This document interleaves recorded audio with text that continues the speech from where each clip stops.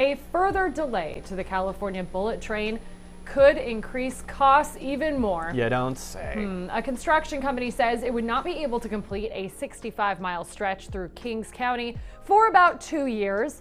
It puts the blame on states' delay in securing the land for the planned route. The company says because parcels were obtained in only parts, it has to hire crews to work on sections at a time and then lay them off again until more land is cleared.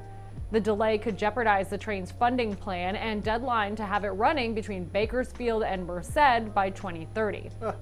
According to the LA Times, that is expected to cost $22 billion. That's nuts.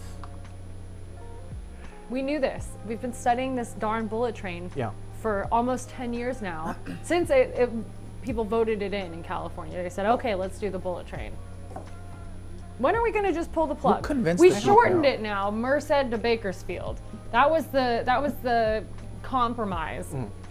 I wonder when people are going to be fed up and be like, nope, we're done. Also, I'm no like engineer or civil planner or train person, but this doesn't seem like the most efficient way to No. be constructing Certainly not in pieces. just like in little pieces and then like decades down the line be like, oh yeah, I don't turns out I don't know if this is gonna work out after all. So when you make a little train set at Christmas, do you lay a track here and then run to the other side of the room and And put it- one over and there? hope they connect eventually. and eventually be like, you know what? I just don't have enough pieces. Yeah.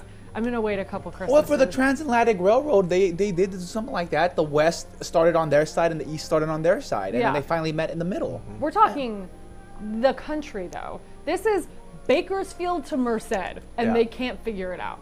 That's It's why it's so. like 10 and this is like a really old industry. I mean, it's a, a bullet train's a little more advanced than a railroad, but it's Right. the same kind of concept. Right. Uh, by, um, but to your point, Sam, you're asking wh- when do we just ditch it? But wouldn't that be a lot, a much bigger waste of money? Because now all that money is just left. What is That- that, Whatever's the spent, sunk gone. cost. The sunk cost. I was gonna ask, what is that principle where Yeah. like you've put so much in, you don't want to quit now, Right. or you've invested too much time? This applies to relationships, Mm-hmm. to bullet trains.